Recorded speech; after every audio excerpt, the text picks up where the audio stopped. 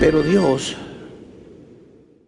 subraya ese pero, pero Dios, que es rico en misericordia, por su gran amor con que nos amó, aquí hay tres cosas, pero Dios es diferente a nosotros. Dios Dios no es como el hombre. Ese pero Dios significa que Dios no es como tú ni como yo. Pero Dios es totalmente diferente al hombre, porque no es vengativo.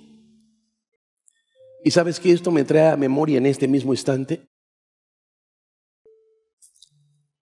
¿Cómo el Espíritu Santo hace un papel tan similar al que hacía el Señor Jesucristo y sus discípulos? El Señor cuenta una parábola donde dice que fue a buscar frutos y no pilló. Y dice que el discípulo, cuando vio que el Señor iba a desarraigar la planta, le dijo, Señor, espera quizás este año de fruto.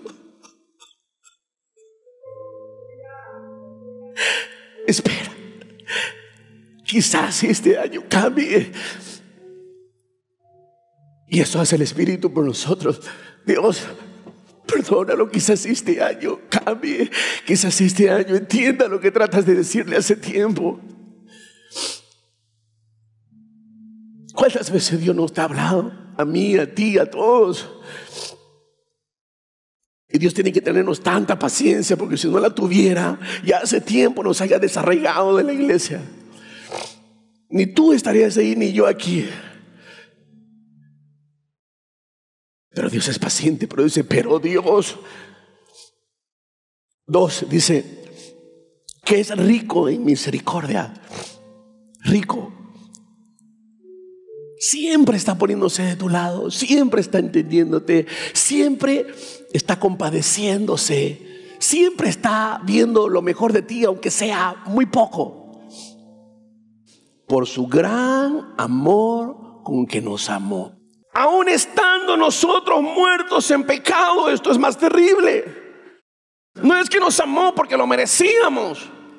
Estando muertos en pecado nos amó. Nos dio vida juntamente con Cristo. Por gracia soy salvo. Y juntamente con Él nos resucitó. Cuando recibiste a Jesucristo como tu Señor y Salvador. Te resucitó, sí te volvió a dar la vida que tú no tenías. El Espíritu Santo te resucitó, sí. ¿Cuándo? Cuando lo confesaste como tu dueño, tu Salvador, el que pagó por tus pecados, te perdona, manda su Espíritu y te resucita y te da su vida. Tú no tenías antes al Espíritu Santo, ahora lo tienes. Pero te complicas la vida. Porque si tú hicieras memoria de esto, me resucitó, me dio vida espiritual, me dio capacidad de entenderlo, me dio entendimiento para comprender sus caminos. Solo tengo que dejarme guiar.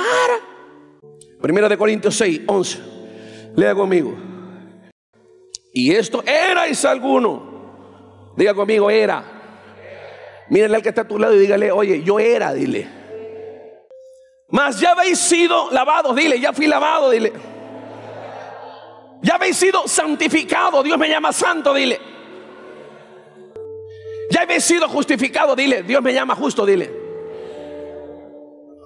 Aunque tú no lo creas, dile. Porque yo he sido justificado, dile. En el nombre del Señor Jesucristo y por el Espíritu de nuestro Dios. Yo voy a honrar lo que hizo mi Cristo, no lo que tú estás diciendo de mí. Yo voy a honrar lo que hizo mi Cristo, no lo que tú estás diciendo de mí. Yo voy a honrar lo que hizo mi Cristo y el Espíritu Santo, no lo que diga la gente de mí. ¿Por qué te complicas la vida? ¿Sabes cuándo te complicas la vida? Cuando empiezas a dudar de lo que hizo tu Cristo. Que el diablo no te haga dudar, porque te hace dudar. Y tú viniste aquí al servicio y Dios te dice, no te compliques la vida. Y te despiertas y el diablo empieza a recordarte las cosas que todavía no han cambiado, los imposibles. Y tú dices, sí, pero esto y esto y ahora qué hago. ¿Qué vas a hacer? Nada. Aquíétate. Haz lo que tú puedas en cuanto a hacer tu diligencia. Pero lo que sea imposible, déjaselo para Dios. Los imposibles, déjaselo a Dios. Y tú ve a trabajar. Da tu mejor actitud, tu mejor esfuerzo. Pero los imposibles, déjaselo al Señor. Todo el tiempo la gente se complica la vida en vez de vivir meditando lo que hizo su Señor. Ese cuando tú dices, pero Dios, que no es como tú, que es rico en misericordia. Que su amor es incomprensible. Que te amó cuando eres un vil pecador. Que te sentó en lugares celestiales. Eres un rey. Eres un príncipe en su reino. ¿Cómo puedes tener una mentalidad de mendigo aquí en la tierra? De pobrecito y de víctima. ¿Quién se va a convertir con ese testimonio? Dios te habla de una promesa. Escucha esto. Dios te recuerda una promesa. Y la gente dice, sí, ya lo escuché. Sí, ya lo dijo el pastor el año pasado. Y sigue esperando. ¿Sabes quién es el que desespera? El que duda el que ya no ora, el que ya no lee las escrituras. Ese es el que desespera, porque cuando usted está compenetrado con Dios, se olvida hasta del tiempo. Me encanta Abraham. Le dijo el Señor, te voy a dar un hijo a Abraham, le dijo. 75 años. Y se rió. Yo siempre pensé que se había reído por incredulidad, había sido en buena onda. Le pedí perdón el otro día a Abraham y le dije, perdóname Abraham, te he dado palo con ese mensaje había sido en buena onda que se rió. Y cuando le dijo a Sara ya a los 100 casi, otra vez, te voy a dar un hijo, Sara se mató de risa en la carpa. Y Dios le dijo, te reíste. No me reí, te reíste. Estaban los dos peleando ahí.